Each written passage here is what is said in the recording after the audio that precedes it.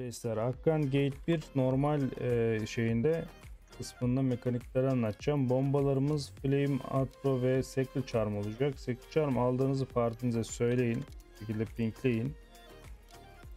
E, bunu birden fazla insan alsın ki garanti iş olsun. Normal 1-2 tane yetiyor. Bard'ın olduğu partideyim ben. O yüzden Secret Charm lazım olacak. Onun cleansi yok. Müziği de durdurayım.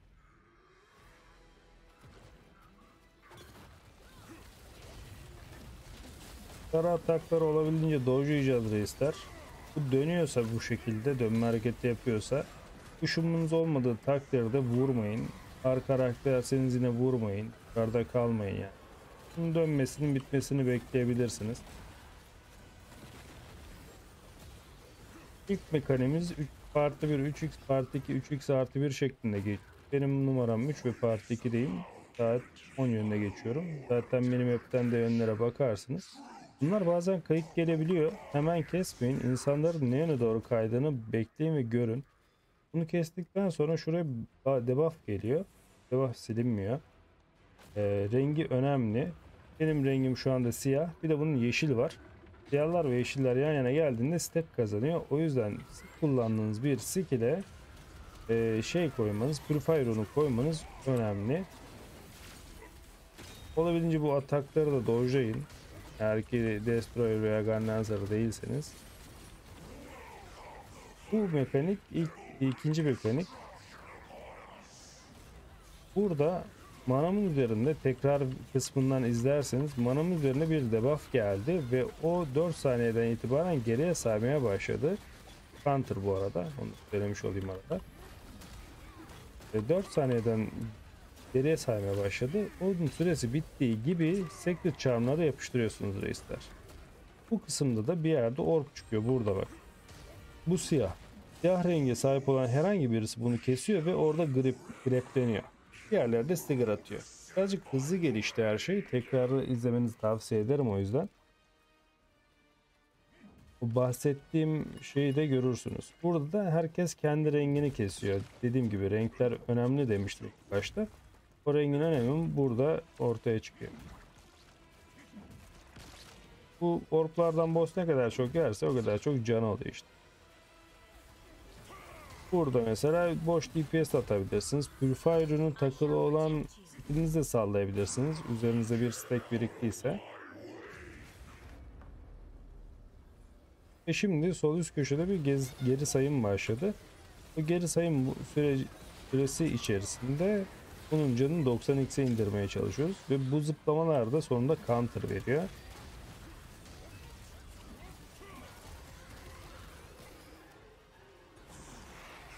Ve 90x'e indi ve faz 2'ye geçiliyor burada. Buradan önde giden oyuncuya harita büyüyor, küçültüyor. Neyse işte bir geniş bir açıdan bakmaya başlıyor. Ee, o oyuncu alçıpanın gelmediği yere ping atması gerekiyor. Önden ben gidemedim şu an önümdeki eleman gitti ve o gördü. O da ping attı zaten onun gittiği yeri takip ediyor diğerleri de.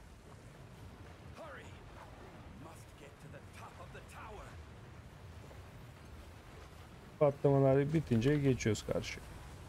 Bakın üzerinde biriken stack bu polimorf. Şu an bir yeşilin daha yanına gideyim. Şurada. 1x oldu. X oldu. Boşa Purifier ürününü taktım skill salladım ve sildi. Gördüğünüz gibi gitti. Boşa sallasanız olur. İlla bir yaratığa vurmanıza gerek yok. O Bu atak saplarsa ileride batırmaya başlıyor. Saplamazsa bu şekilde arkasını dönüyor. Benim puşumun yoksa korunabilirsiniz. Counter gibi gözükse de bu counter değil.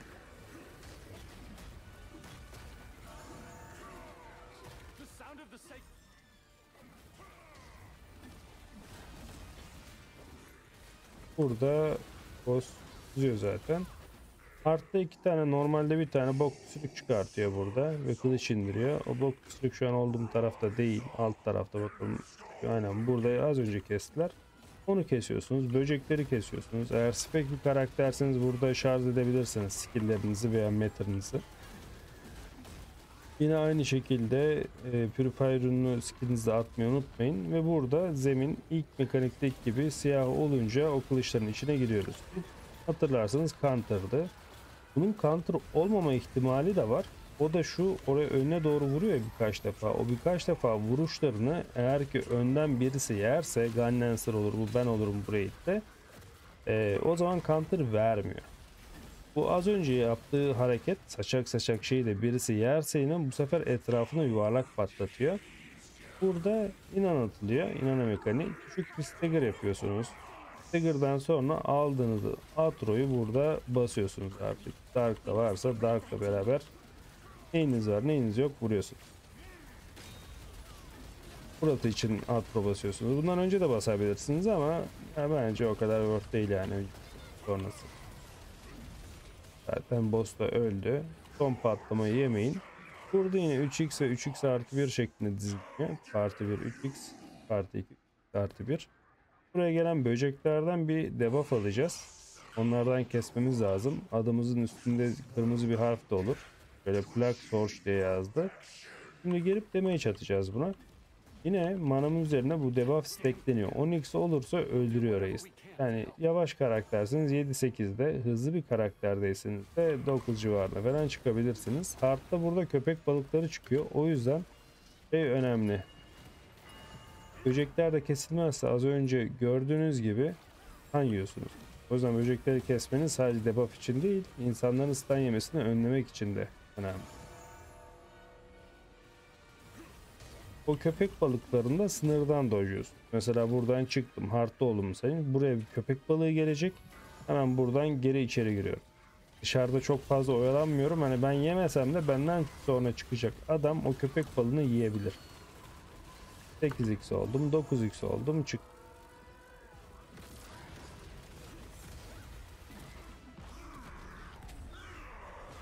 Şimdi artık geri kalan kısımda mekanik yok. Gelirse counter'ları görürüz. Vermezse zaten kesilecek gidecek. Burada yine ya inana ya da tahreyin atılabiliyor. Bu counter değildi hatırlarsanız. Öldü zaten boss. Evet. Tekrardan dediğim gibi manamın üzerinde geri sayım yapan bir debuff olacak. Ee, eğitim başlangıcındaki mekanikte. Tekrardan mutlaka o kısmı izlemeyi unutmayın. Onun süresi sıfır olunca Secret Charm'lar o zaman basılıyor reisler.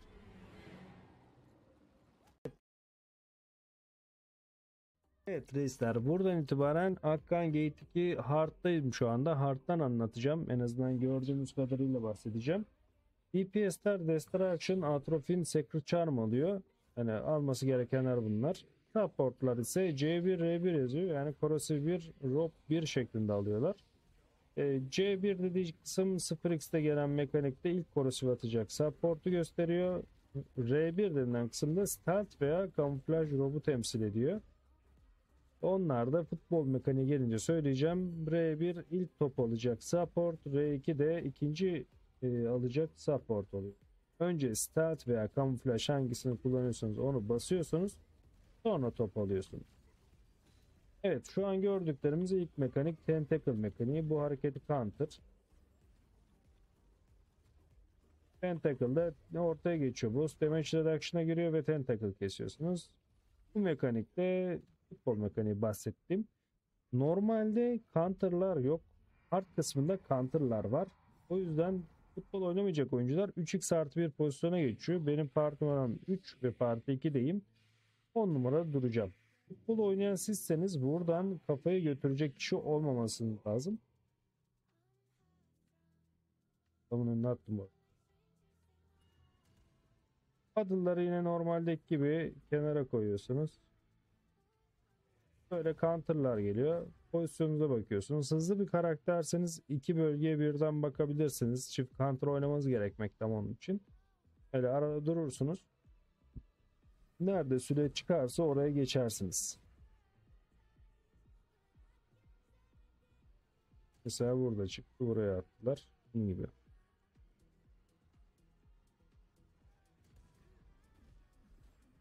Evet futbol bitti. Şimdi vurmaya devam edeceğiz.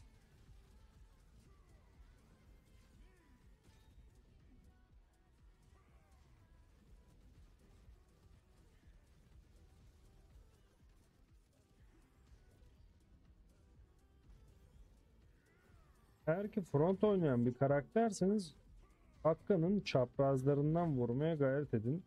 İnan atıldıktan sonra her şeyi kapatabilirsiniz inanın içerisinde. Eğer front oynamıyorsanız sorun yok zaten.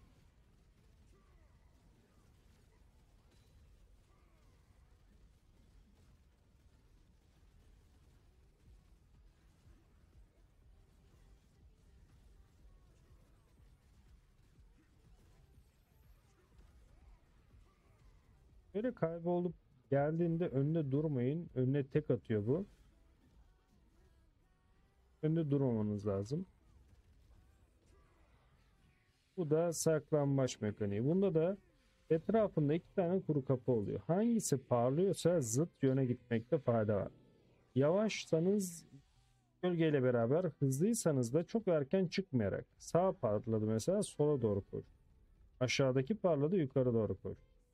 Yine sol parladı başladığı yere geri döndü. Bunun şimdi paternleri var reisler. 90-90-180 olabilir. 180-180 olabilir. 90-180-90 olabilir. Mesela buna bakalım. Bu bir 180 başladı. Bak diğer paterni yine 180. Ve her zaman başladığı noktada bitiriyor reisler. Yani şu tepede masum gözüküyordur. Şu an skill basacağım mesela. Bu skill'i bastığım yerde başladı. En son geleceği noktada yine o skill'imi bastığım yerde olacaktır. Ortadaki gözden yani bu kırmızı alandan uzak dur mutlaka. Bu hem damage atıyor hem gauge veriyor.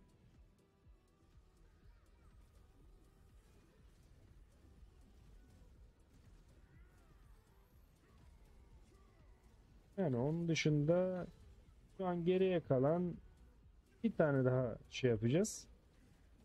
E, futbol yapacağız. Futboldan sonra zaten 0x kalıyor. Bu da yine counter ama az önce atıldığı için counter vermedi. Yani kafanız karışmasın bu hareketi ben counter dedim. Bu dediğim gibi yine futbol. Eğer DPS yavaşsa tekrar tentacle yapabilir bu aralar. Ve altınıza gelen göz var burada. Alıp şuraya koyuyorum ki insanlar oradan başlıyor. Göz de size bar veriyor yavaş yavaş. Yani ona dikkat etmekte fayda var. Barınız dolmaya yakın space atıp e, kitlenmekten uzaklaşabilirsiniz. E, veya bir yardım pingi atarsınız. İnsanlar ya da secret bomb veya charm kullanır. Bu eleman mesela şey e, R1 yazan eleman. O bunu bastı kafayı gezdiriyor. Atacak şimdi. R2 yazan da kimse o aynı şekilde alacak. Ve rob basıldığı için kırmızı gözlü arkadaş ben mesela dönüştüm. Alanın içine dönüştüğüm için çok vurdu. O kenardaki patıların içine girmemeye çalışıyor. Kırmızı gözlü arkadaş rob basıldığı için olduğu yerde kalıyor reis. Mesela biri dönüştü burada. Tekli çağrımı kullandım. Bunu açtım. Counter dediğim gibi. Böyle bir genişten alıp vuruyor sallıyor ya. Hareket counter oldu. Bu tekrar tentacle. Dediğim gibi o arada DPS az gelirse tentacle yapıyor. Bundan sonra yine DPS az gelirse bir tane daha saklambaç yapıyorum.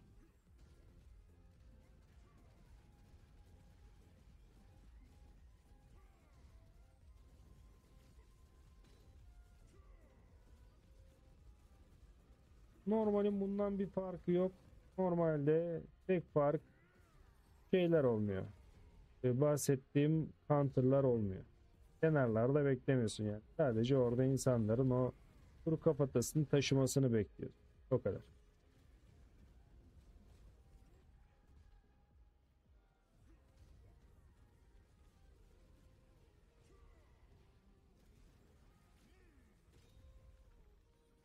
Öyle ama o ışınlanma olayını yapıyor. Şuradan uzak durmak lazım. Şu üründen kısımdan uzak durmak. Burada da yine 0 listede 3x ve 3x artı 1 şeklinde diziliyoruz. Artı 1 3x artı 2 3x artı 1. Dediğim gibi counter'larda sadece 3x artı 1. Yani bir counter'a iki kişi bakıyor ki birisine paddle verirse diğeri counter'a atabilsin.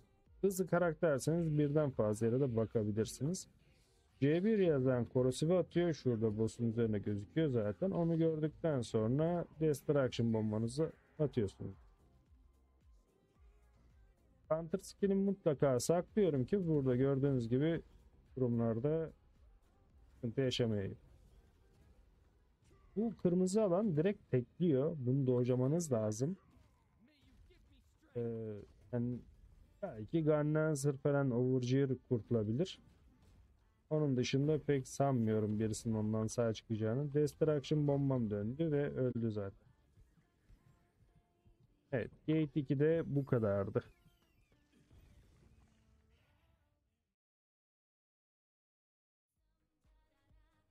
Evet, Gate 3 e, Twitch kaydı diyelim buna artık.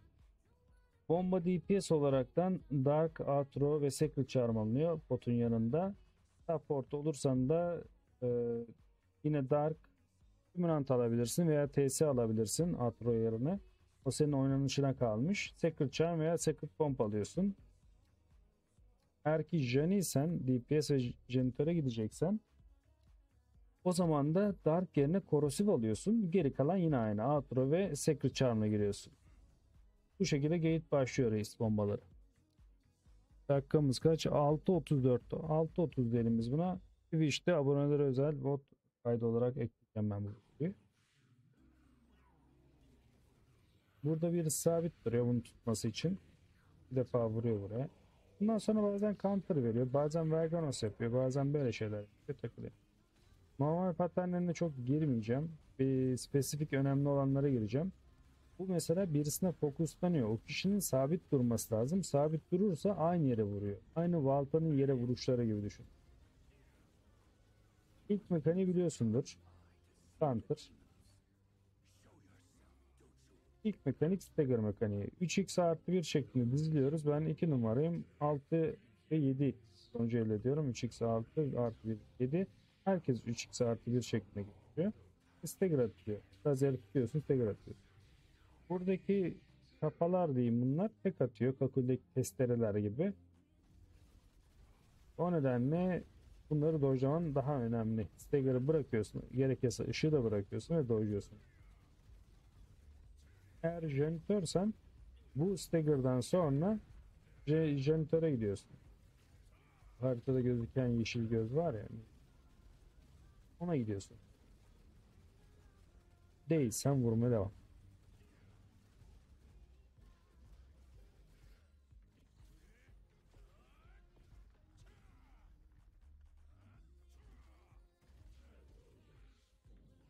Burada bizim partimizde artist olduğu için mekanikte ben alacağım bunu. Buraya kule düşecek. Diğer boss'un etrafındakiler 3 tane ışın var. O ışını engellemeye çalışacaklar.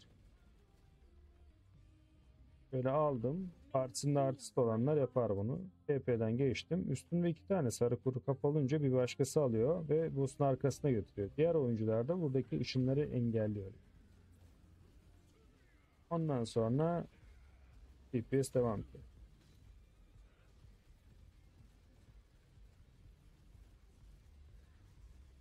Bu Earthquake, bu ölümcül reis. Ben burada Z ile duruyorum ama normal bir DPS yani Despot dışında bir şey oynadığın zaman mutlaka bundan çıkman lazım alanından. Oldukça uzaklaş. Bunu şarjda yapabiliyor. Bu tek olan da şarjda olansa daha büyük bir alana vuruyor. Yani elinde çok uzun süre tutuyorsa şarj etmiştir. Haliyle ondan daha uzaklaş. Bu da heykel paterni. Star diye saat birindeki oyuncu yazıyor. Ve buradaki heykeli star pozisyonundaki yere getirmeye çalışıyoruz. Ve bu pozisyonlar hani Vaycast'ta kılıç mekaniği gibi internette fotoğrafı var. O fotoğrafa bakıp yaparsın. Ben de ezberlemedim yani bu ezberlenmesi saçma bir şey. Alt tava geçecek vaktin de var. Bunlar doğru yerlere bakınca bitiyor. Bundan sonra da mekanik yok gibi bir şey.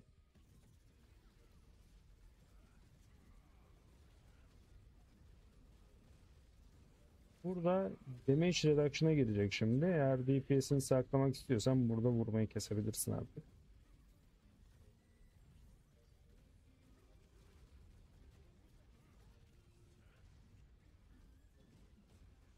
Burada şimdi boss ortaya ışınlanıyor ve aşağı doğru alt yöne doğru gidiyorsun. Eğer böyle bir mekanik yaparsa kendi dibinde sadece yeşil parlarsa kuru kapı oluyor.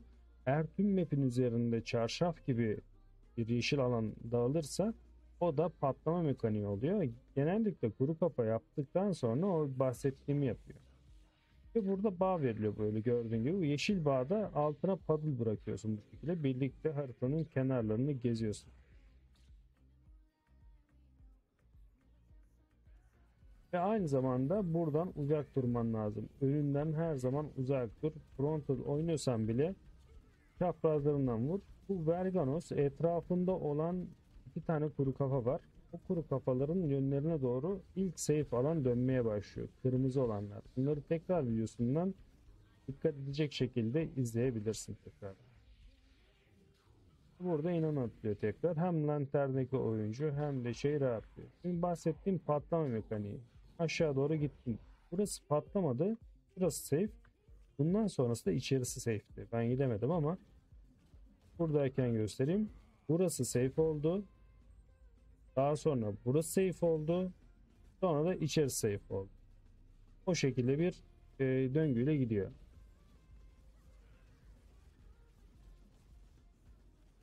Eğer onun hiçbirisini dojlayamam diyorsan e, TS basabilirsin orada o mekanikte.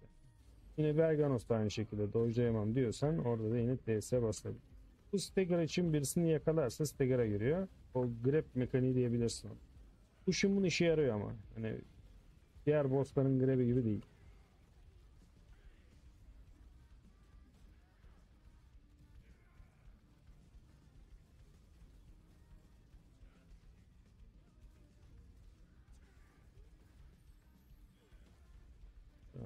Devam. Bu çap çapa indiriyor burada. Çapa tekliyor reis.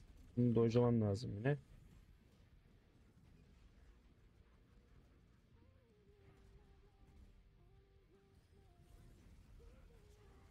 Bu yine bağ verdi.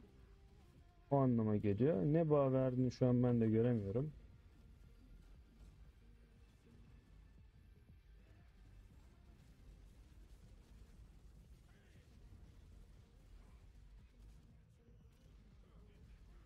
Dönecek.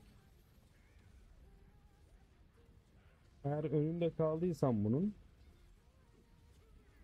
e, önünde kaldıysan space'e çıkabilirsin orada.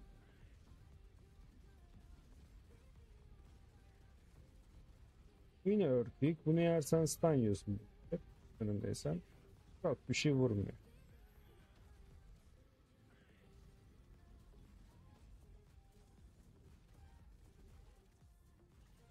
Bu, şekilde grapliyor. Bu da yerden yere vuruyor reis. Bu birazcık vurabilir. Stack kazandıran mekanik. Bunda boss'un olabildiğince dibine giriyorsun. Dışarıda olursan tekliyor veya çok fazla vuruyor diyebilirim. Ve burada mesela şöyle dirilden ölen oyuncular olur. O oyuncuları olabildiğince hızlı kesmek veya dışarıya öyle insanlardan uzağa ittirmek gerekiyor. Çünkü kesilmezse patlıyor ve herkese tek atıyor. Hani boss'u görüş alanına tutup önünden uzaklaşman mecburi. Map'te böyle bir anda başka bir köşeye ışınlanıyorsa minimap'ten bak onun tam zıttındaki kenara doğru koşuyorsun. Sonra zaten bu tekleme muhabbetini yapıyor önünden çıkıyorsun. Bu yine döndüğü zımbırtı.